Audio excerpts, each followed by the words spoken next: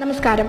ഇസ്ലാമിക രാജ്യ കൂട്ടായ്മയ്ക്കെതിരെ കടുത്ത പ്രതിഷേധവും മുന്നറിയിപ്പുമായി വിദേശകാര്യമന്ത്രി എസ് ജയശങ്കറും രംഗത്ത്.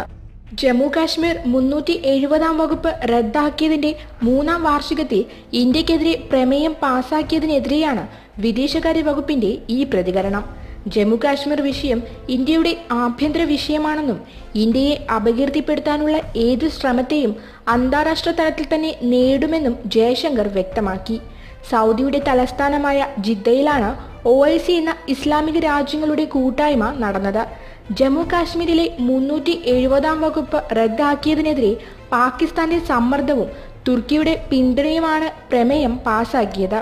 ജമ്മു കാശ്മീരിലെ വിശേഷിച്ച് കാശ്മീർ മേഖലയിലെ ജനങ്ങളുടെ സ്വാതന്ത്ര്യം ഇന്ത്യ ഹനിച്ചു എന്നാണ് പ്രമേയത്തിന്റെ മുഖ്യഭാഗം. അഖണ്ഡതയെ കടന്നാക്രമിക്കുന്ന ഗുരുതരമായ ആരോപണം ഇന്ത്യക്കെതിരെ നടത്തിയത് ഒഴിവാക്കണമെന്നും ജയശങ്കർ മുന്നറിയിപ്പ് നൽകിയിരിക്കുകയാണ്.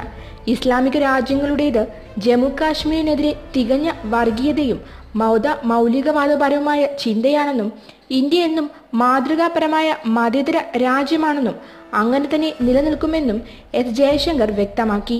കൂടാതെ ഓരോ സംസ്ഥാനവും പ്രദേശവും തികഞ്ഞ ജനാധിപത്യത്തിന്റെ സ്വാതന്ത്ര്യം അനുഭവിക്കുകയാണെന്നും ജമ്മു കാശ്മീരിലെ ജനത യഥാർത്ഥ ജനാധിപത്യം എന്താണ് എന്ന് കഴിഞ്ഞ മൂന്ന് വർഷമായിട്ടാണ് അനുഭവിച്ച് അറിഞ്ഞതെന്നും ജയശങ്കർ വിശദീകരിച്ചു.